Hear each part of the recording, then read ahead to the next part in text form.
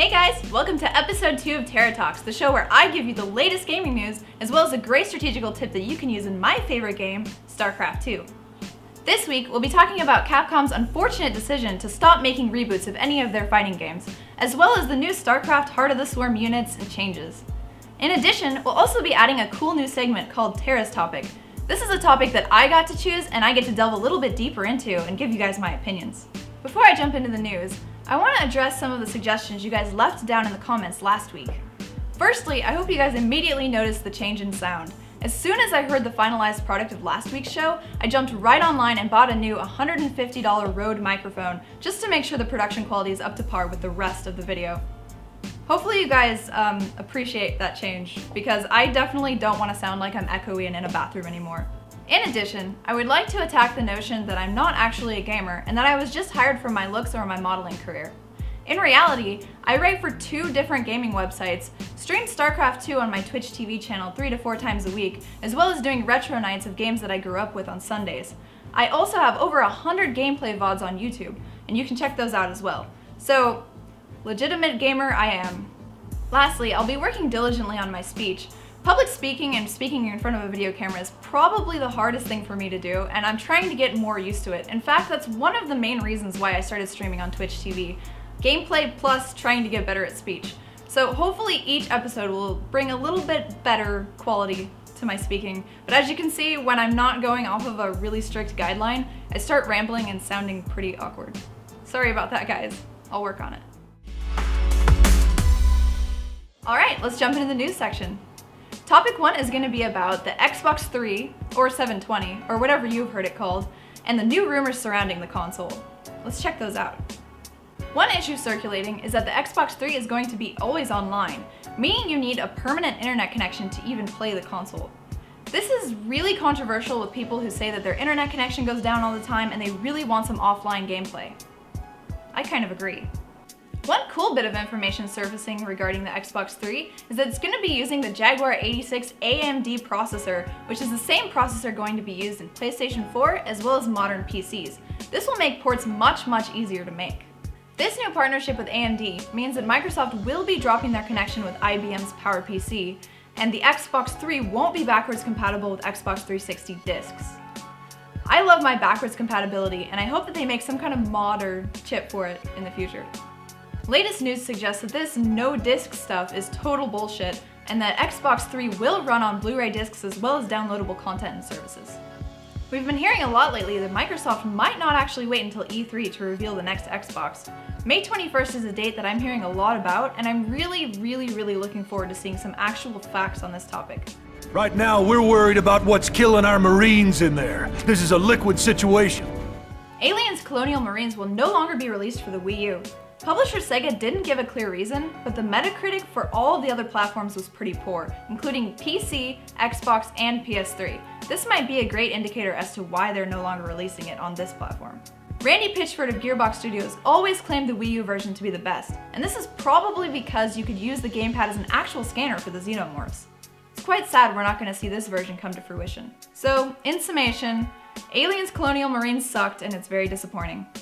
Is there anyone else here who learned about facehuggers from the Animaniacs SNES game and not actual aliens first? Or am I just weird?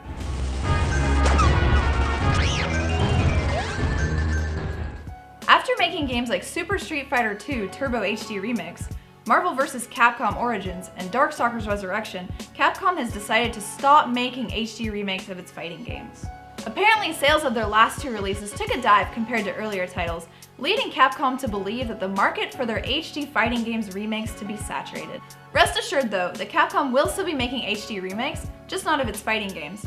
They do have DuckTales in the works, which is awesome, right? Huey, Dewey, and Louie and Scrooge are amazing, but I would like someone to make me a Darkwing Duck game.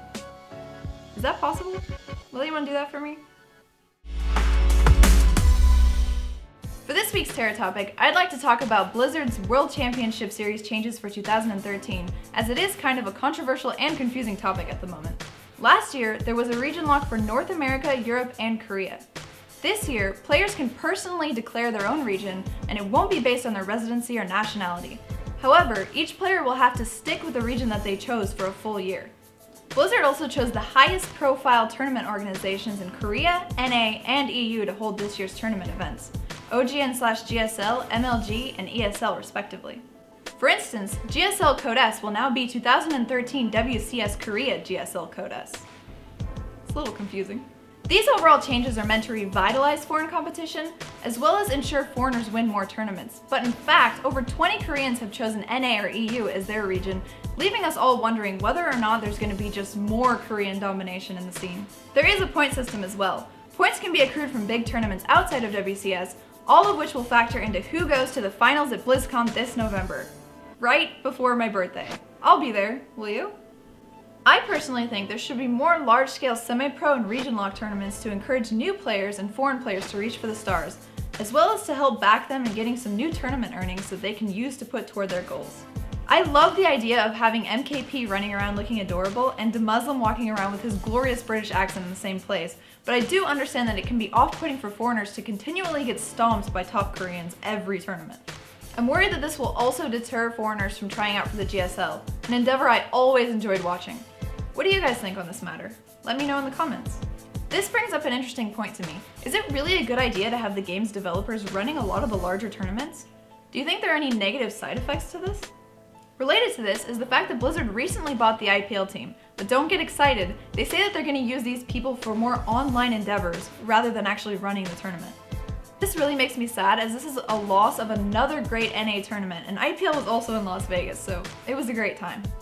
IPL was just announcing that they were going to do quarterly tournaments rather than yearly, and everything was looking pretty bright. I'm wondering where it went wrong exactly.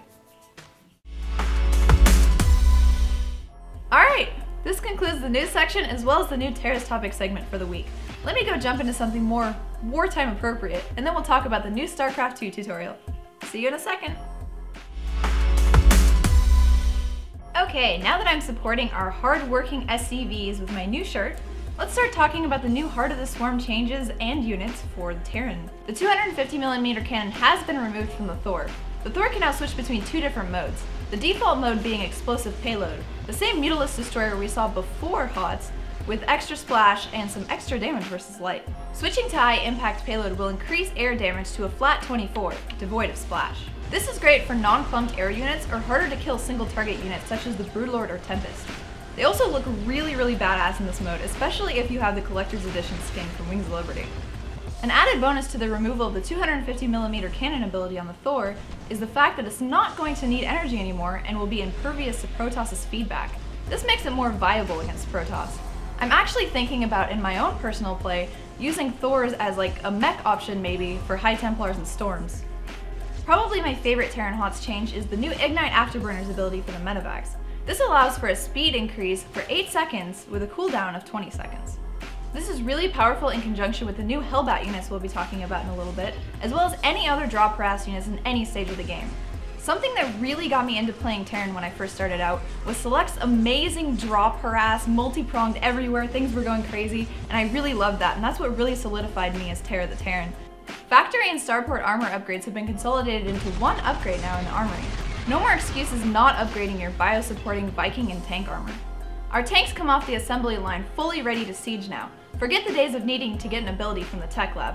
Our ledges will be reinforced sooner, but watch out for earlier contain attacks from our Terran enemies in the Dominion. Reapers no longer require a tech lab. This means that they will be produced much earlier in game and at higher quantities. To balance this fact, they will no longer do extra damage to light or buildings, but they will heal out of combat due to their new combat drugs.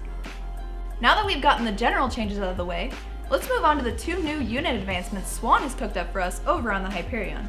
If you ask me, this new Terran unit is a bit overpowered. Oh yes!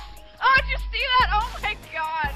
The Widow Mine can burrow in 3 seconds time and send out a huge blast dealing 125 damage and 40 splash to anything in the vicinity.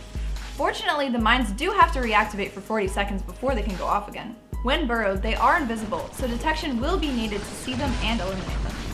One important thing to note about the Widow Mine is that it deals spell damage. What this means is that abilities like the Viper's Blinding Cloud won't actually have any effect on them. The Widow Mine was initially designed to give our mech openings a little bit more oomph, but with its explosive potential, it does seem to be a little bit too much. What do you guys think? Get it? Explosive potential? Oh, By the way, you can also upgrade their burrow speed so that they're underground and operational instantly. For those of you who loved the Hellion for early game harass, but felt that it wasn't as vital of a unit when stepping into late game, this new unit is for you. The Hellbat requires an armory to directly produce, and just a factory tech lab in order to use the Hellion transformation. The Hellbat is a great late game choice in a mech army, and has the added benefit of being able to be healed by a Medivac or repaired by an SCV, as in this state it's considered a bio and mechanical unit. Pretty cool, huh? When transforming to the Hellbat stage, the unit loses its long range, but gains a stronger conical AoE attack, as well as extra damage versus light and increased armor. I especially love this unit as it acts as a tribute to my favorite StarCraft 1 unit, the Firebat. It's funny how both of the Terran units are just reboots of old Brood War units, the Widowmine being a mirror of the Spidermine, of course. Well there you have it, this concludes this week's Tara Talks, episode number 2. Please like the video, subscribe to the channel, and let me know down in the comments what you think. Did I do a better job this week? Are you more informed on StarCraft and gaming news? Let me know. See you guys next week.